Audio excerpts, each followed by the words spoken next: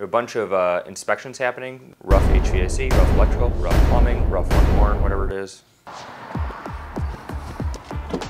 We're on week 23. Just like the address, the street number, 23 Calendar Avenue.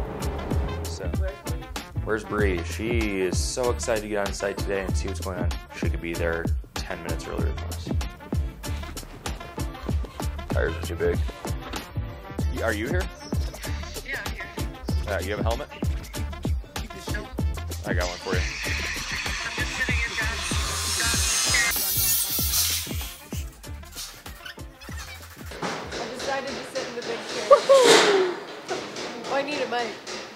Um, okay, so for today, what happened? My God. So we got an email uh, on Tuesday, and it just said all of these inspections were scheduled. So I started freaking out because we've done kind of a preliminary walkthrough with like electrical and plumbing, but I wouldn't say it was finalized. But yeah, we walked through. I mean, the bar is being framed out, so now I finally have a sense of space. My God, you're gonna literally have the bar built like in like two minutes. We're gonna go up and come down. It's gonna be done. How do you do that? That's awesome. That's crazy. That is crazy. Not just Guapo, good worker too. You know?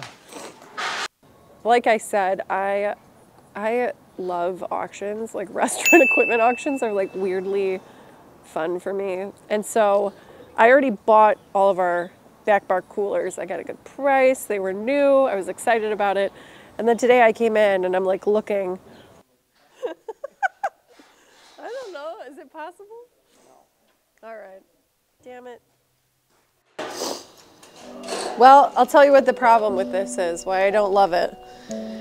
Is this is behind the bar, but we have a wall coming out to here and then these, so you can't you can't put equipment here.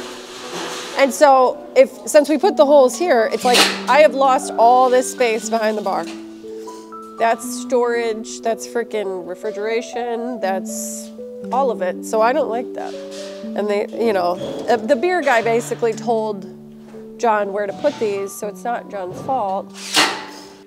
And if we could, like, putting it closer here, even if we have to run the beer lines over here, is better for me because it condenses the space that's unusable. So, so yes. maybe we'll go and try to put one. Oh, This ain't just a hat rack. brilliant! It's brilliant. He's very proud of himself. And honestly, the electrician did like a bang up job. Like I went through kind of my list of things that I just like told him. I'm gonna catch stuff left and right because there's no way. And he actually like down to like a, the stupid outlet that I requested in the back kitchen. He actually did everything I said. Uh, but yeah, we're coming back on Friday after the inspections. I mean, they, there is obviously like a potential that they don't pass all of them. Uh, so that could happen, but I feel like I don't know why they wouldn't pass. We're warming up now, so we're gonna go. We're gonna go meet John for a croissant. Are you going to finish that croissant? he just snacking on croissants? That's it, right? Duh. Duh. Pass, pass. Boom! We walked in, and John said we passed. We passed everything. Four inspections, four out of four. We passed. Plumbing, HVAC, framing, electrical, all the roughs are done on the basement and the main level.